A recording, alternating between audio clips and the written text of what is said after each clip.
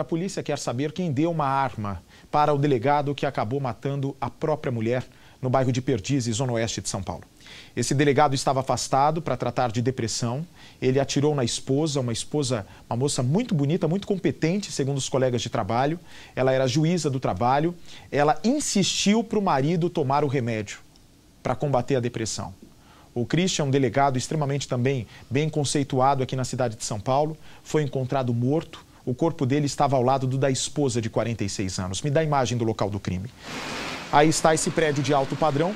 Exatamente neste apartamento aconteceu a tragédia.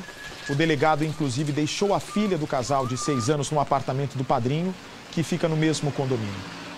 Christian alegou na hora que estava indo a uma festa e que precisava deixar a garota lá.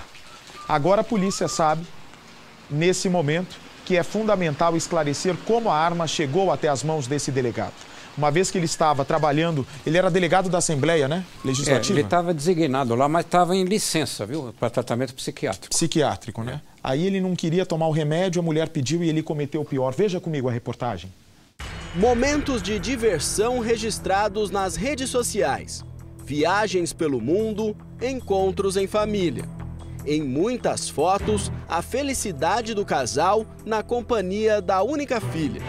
O que os sorrisos não mostravam era o que passava pela cabeça deste homem, Christian Santana Lanfred, idade 42 anos, profissão delegado de polícia.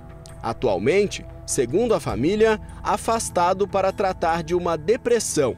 Christian tinha indicação dos médicos para tomar remédios fortes que ajudavam a controlar a doença, mas nem sempre ele seguia o tratamento e isso estava deixando a esposa preocupada. Cláudia Zerati, 46 anos, juíza de direito na Justiça do Trabalho no município de Franco da Rocha. Na madrugada de sábado, ela insistiu para que o marido tomasse os remédios. Isso motivou uma briga. A filha de 6 anos de idade ouviu a discussão. O pai decidiu pedir um favor ao padrinho da menina, que mora no mesmo prédio em Perdizes, zona oeste de São Paulo. Christian tocou a campainha do apartamento vizinho às quatro e meia da manhã e disse ao padrinho da menina que o casal iria a uma festa. O padrinho ficou com a criança, mas achou o pedido estranho, principalmente depois que ela contou sobre uma discussão dos pais. Ele resolveu descer na garagem do prédio e viu que os carros do casal estavam lá. Com a ajuda do porteiro, subiu no apartamento e descobriu que Christian e Cláudia estavam mortos.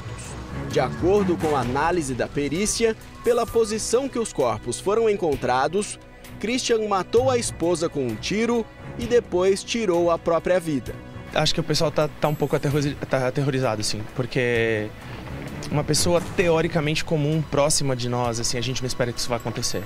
O caso foi registrado nesta delegacia como homicídio qualificado e suicídio. A arma usada no crime foi apreendida.